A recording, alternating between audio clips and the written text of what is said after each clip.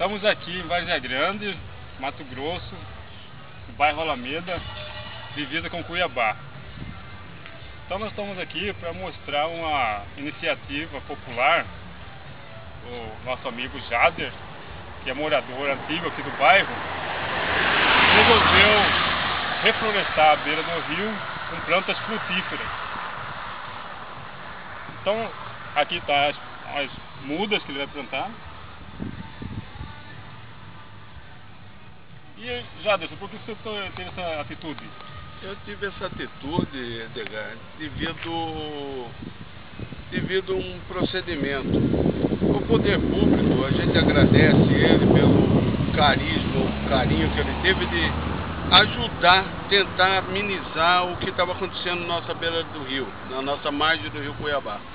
Essa, essa, antes, esse muro de arrimo, antes deles fazer, era uma erosão de barranco e estava é, historiando o rio. Eles fizeram esse muro de para amenizar, não, não acabar, mas amenizar, porque não foi concluída a etapa. Então, por isso, eu acho que de gratificação para a natureza, para o nosso grande mar que se torna um rio Cuiabá imenso como o nosso rio, graças a Deus, é um rio abençoado por todos e eu eu estou fazendo isso com vocês, com toda a população da mesa que estão, vai nos ver daqui uns dias, que está nos ouvindo, para fazer o mesmo, não deixar esses matos crescer como está crescendo, para juntar marginalidade, prostituição. Não existe isso. Vamos ajudar a natureza, não degredir a natureza. Então quer dizer que você vai manter a beira do rio limpa do mato, mas e plantando árvore frutífera. frutífera que possa alimentar os nossos filhos, futuro, futuros filhos, é, futuros netos, os próprios turistas que vêm visitar a nossa cidade, é, é nossa Baja Grande, eles chegarem aqui e topar um pé de fruta. Pô, que fruta é aquela? Muitas vezes saiu não conhece. Que fruta é aquela? Vamos plantar, vamos fazer isso. Aqui, ó, chegou um grande amigo nosso, pode filmar ele. Um turista, ele não mora. Ali, ó. É um turista, ele não mora aqui. Por gentileza, seu Luiz. Por gentileza. Ele tá. Ele é de lá de. Jucimeira. Jucimeira, entendeu? Então, para nós é um, uma satisfação ele estar tá aqui vendo a gente fazer esse tipo de reflorestamento e tendo o conceito dele, por gentileza que nós queríamos então, ter uma dizer, palavra do senhor Matéria. Quer dizer então que você está tomando uma iniciativa, você está sendo pioneiro de cuidar da beira do rio, pelo menos na frente da sua casa. Pelo menos cuidar, né? esse quadro aqui da frente da minha casa, eu quero, não, não quero ser uma pessoa falar assim, estou tomando iniciativa, não. Eu quero que todos, vizinhança, todos os moradores da nossa grande Avenida Alameda Júlio Miller, que faça esse tipo de coisa. Que isso aí futuramente não serve para mim, não serve para o senhor, não serve para outro, mas para os nossos, nossos filhos, para os nossos netos. Nós então, vamos fazer isso. Então você está servindo de exemplo, não só pelo, para os seus vizinhos aqui, não só para o bairro, mas para toda a cidade, né? Tem um Para toda a população. Exatamente. A gente chega em casa quando aqui no feijão muito fogo, eles não podem, vamos embora. Para, dá uma pausa. Tá filmando? Estou fazendo uma filmação aqui para reflorestamento. Vamos? Não, estamos fazendo uma filmagem com reflorestamento aqui. Deixa pra outro dia, outro dia partiu. Não, é. Obrigado, hein? Vai lá, vai lá. Oh, vai dar um, dar um close lá no rio, sim, lá no... Bom, então agora a gente vai descer ali na beira do rio pra mostrar esse muro de arrimo, né?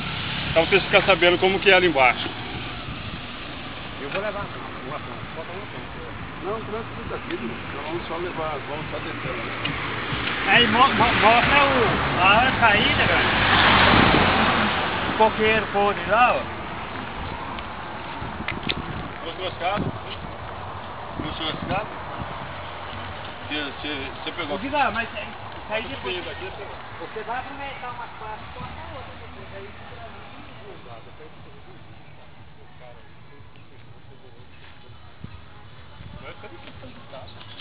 não, mas aí é a gente resume. Abaixa o moço agora. Não, mas, ô, de lá, depois você tem que dar uma editada no texto, né? Olha lá ele, ali. É no computador ele faz. Olha aqui, filma a boca de lobo. Ó, a condição que existe da nossa boca O de lobo. mato, filmo, po- filmo pode também. Olha a condição que existe da boca de lobo. Agora vamos dar uma resumida. Olha isso Pega a aqui. beleza lá. Pega o siribu na beira da água lá. Olha o siribu andando lá, só preservar. Então isso aqui é o muro de arrimo, né? Esse é o muro de arrimo. Esquecido É esse aqui que pelo, segura. Esquecido pelo poder público. vem cá, vem cá. É esse aqui.